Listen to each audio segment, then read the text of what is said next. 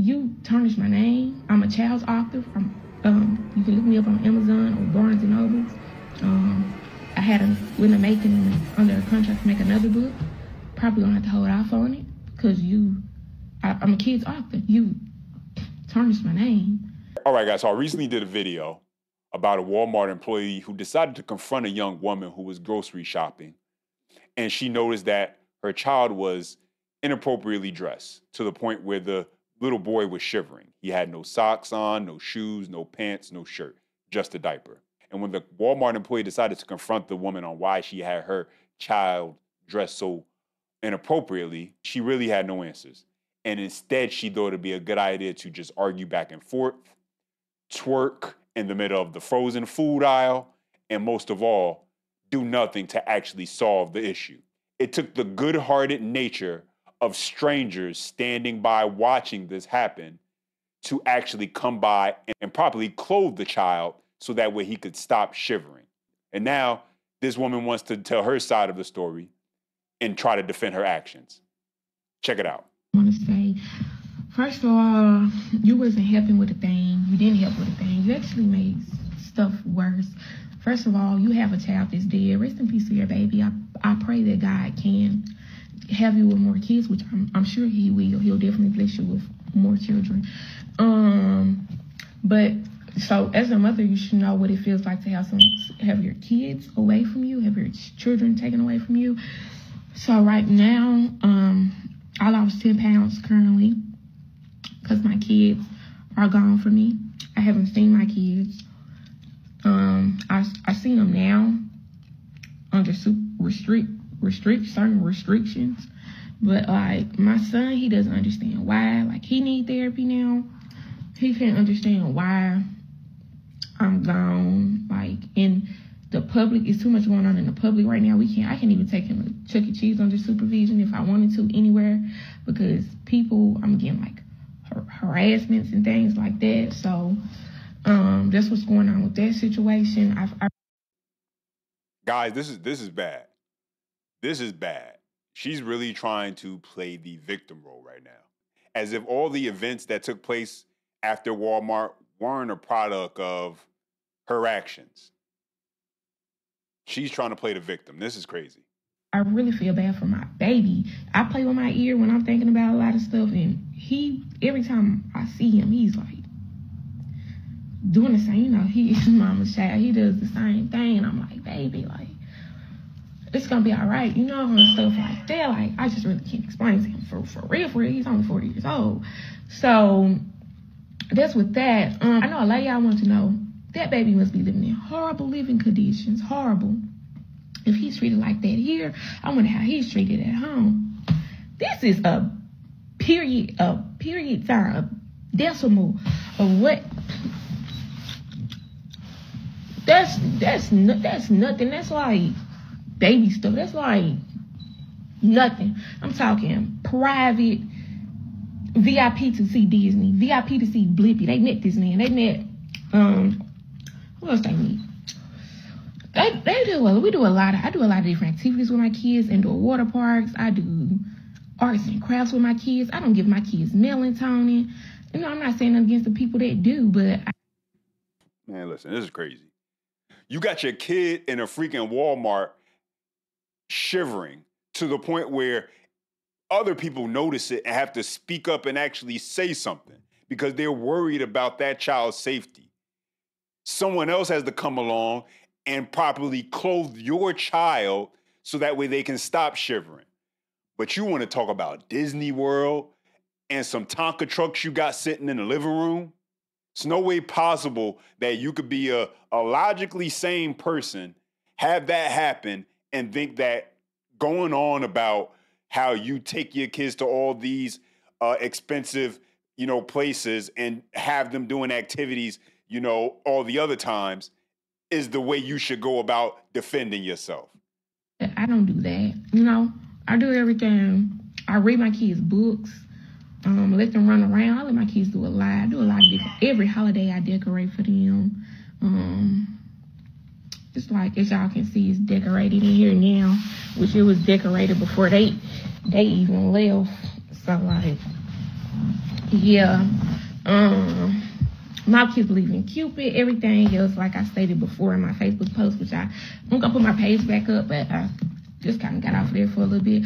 Um, so it's nothing how y'all try to say horrible living conditions. Never that. Never, never, ever, ever, ever, ever, never that. So um, that's that about that. My biggest thing right now, though, um, is the false allegations that's out there about me. Not a bad mama. Never been a bad mama.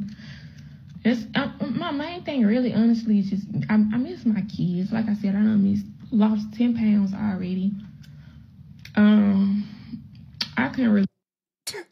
Yo, this is crazy. This is crazy because she really talking like she's the victim. She's really talking like everything that happened isn't her fault. Like she couldn't simply have avoided this by not letting her kid leave the house dressed like that.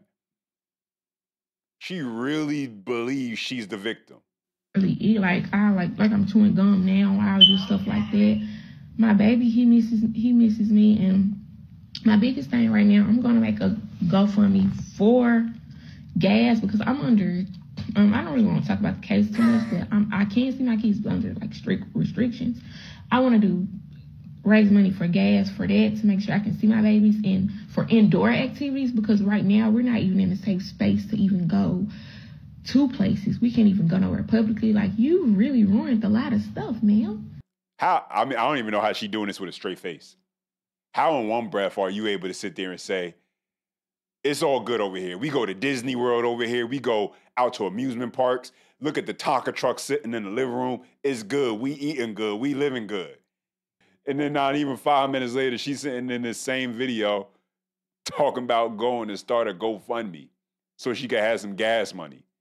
Hey, for real, but if it was actually done from the goodness of your heart, you know the Bible says that you want to do stuff, you know, those who, when you do good deeds, you give to the needy, blah, blah, blah. I'm not needy, by the way, but you give to the needy. You don't do it, you know, like, hey, look at me, look at me, like how the um, hypocrites would do you actually, you know, you do it in private, you know, to your father that is because you're doing it for public. That's for people that can see. You need to do it to your father that is unseen. Don't believe I saw your GoFundMe. You have received your reward in full, as the Bible states. I you tarnish my name. I'm a child's author. Um, you can look me up on Amazon or Barnes and Nobles. Um, author name is Kimmy Darby. For I got a book about autism that's out as well. Um, I had a when I'm making them under a contract to make another book. Probably gonna have to hold off on it because you, I, am a kid's author. You tarnish my name. Um, you know, this is exactly what not taking accountability looks like. Quoting Bible scriptures all of a sudden as if she wasn't just literally twerking in the frozen food aisle. Speaking about how your name has been tarnished as if you weren't just carrying yourself in the most ratchet way you could think of. Against your neighbor. That's what you're doing because situations like this. Now, my kids have to heal from this. I have to heal from this. I'm going through stuff. I don't know if I got my kids back yet. Uh, but, you know, like the, the Bible says, we can rejoice when we run into trouble because it builds endurance. Endurance builds character, and character builds strength, hope, and salvation. Um, everything happens for a reason. I um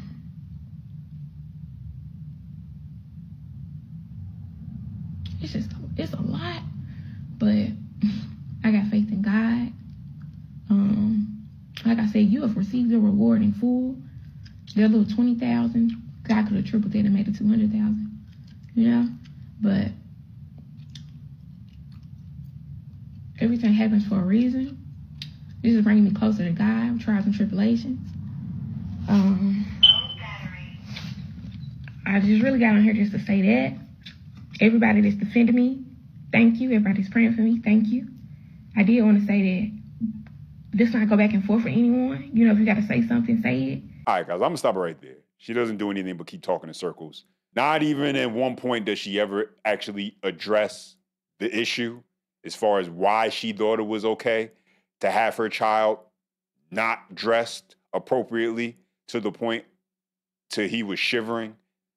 So I'm gonna stop it right there. But if there's anything you could really take away from this, is that have a standard. Have some standards for yourself.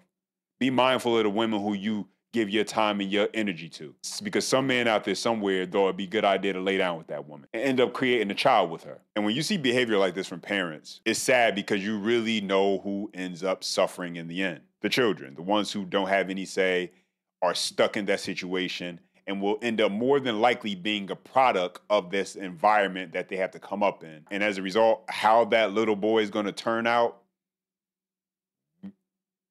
who knows? Anyway, guys, questions, comments, thoughts, and your feedback, go ahead and drop it down below. Always appreciate when you guys chime in. Don't forget, you can support the channel by hitting that like and subscribe button. And as always, until next time.